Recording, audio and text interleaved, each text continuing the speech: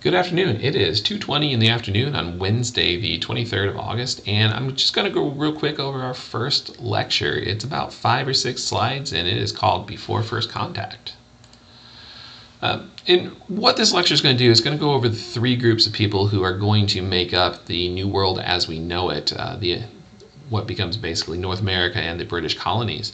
And I want to first start by talking about Native Americans or indigenous people. Uh, it's thought that the indigenous people first came to the Americas uh, by walking from Russia to Alaska somewhere between 10 and 15,000 years ago. Uh, the reason they were able to do this is because of the ice age and the level of the sea was lower, which exposed land connecting Alaska and Russia. Uh, however, as the the ice started to melt, that land bridge disappeared and now it is underwater. Uh, why did these first people move from Russia into Alaska? Um, quite simply, they're chasing their food. Uh, there were no maps or anything like that at the time, so these first people are just following their prey. And um, that's because these people were hunters and gatherers. There was literally no farming. Uh, we don't get agriculture until about seven to thousand to eight thousand years ago, and hunting and gathering is still going to be the primary food source in the Americas until 1000 AD. So the idea of farming here in the Americas is extremely new, believe it or not. Uh, we have some groups like the Hopewell, the Mississippians, the um, the Anasazi.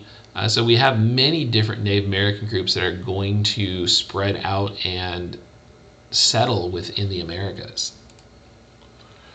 Here in Georgia, the best known Native American group is going to be the Mississippian. Uh, they're known to, for being mound builders. Uh, here in Georgia, you've got the Ocmulgee Mounds, you got the Etowah Mounds, you got the Kolomoki Mounds. If you're familiar with Six Flags, where Six Flags is today on, on the west side of Atlanta, there used to be a city and some mounds there that were bulldozed down. And the most famous of the Mississippian mound sites is called uh, Cahokia, which is near St. Louis. And scientists and historians and archaeologists have found evidence of a mega city that held over 40,000 people there.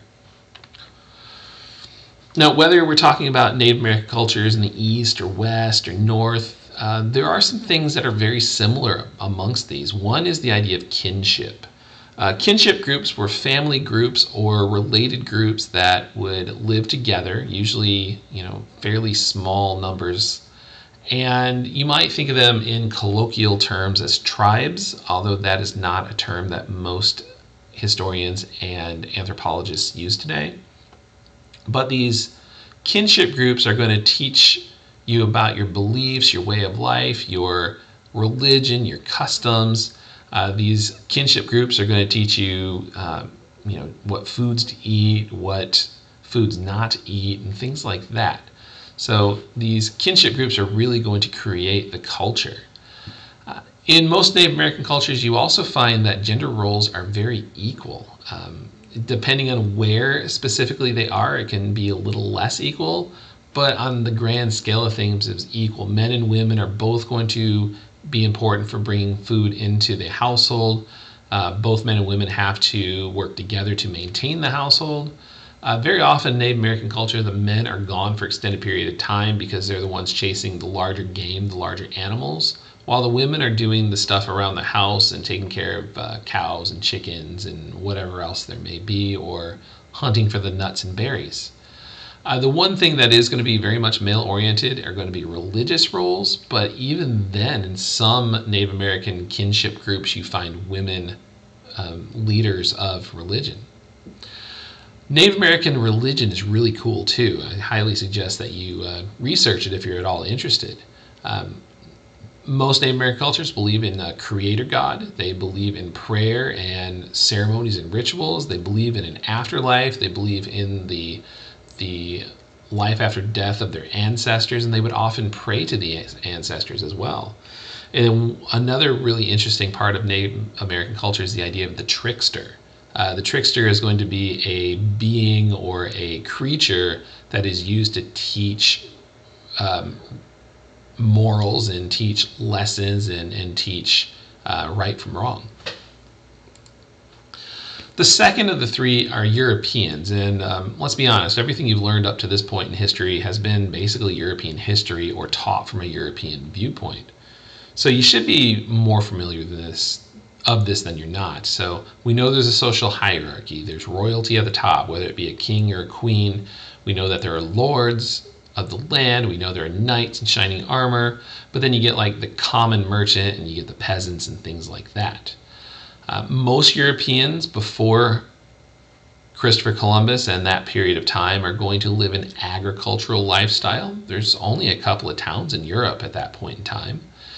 And because of the Black Death in the 1300s and the 1400s, uh, the idea of the kinship group, it doesn't exist as much. You're just worried about your immediate family.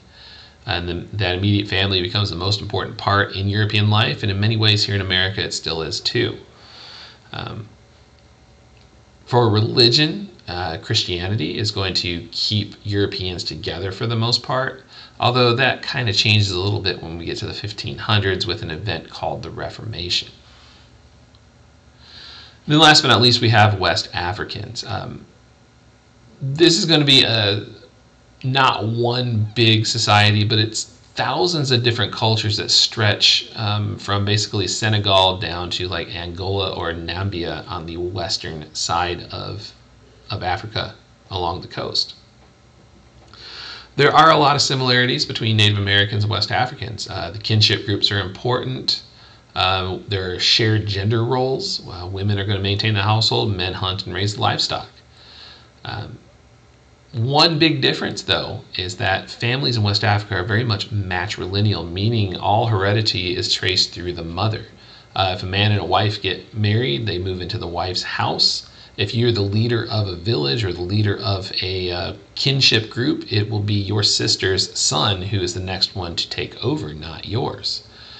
Um, and you get this interesting mix of native religions uh, mixed with Islam. So you get um, local spirits, but you also get Allah and uh, Islamic influence as well. All right, as promised, very short. I hope you watch this. I hope you enjoy it. And if you have any suggestions on how I can make this video better for next time, let me know. Uh, but uh, I appreciate your time, and uh, we'll talk to you soon. Thank you.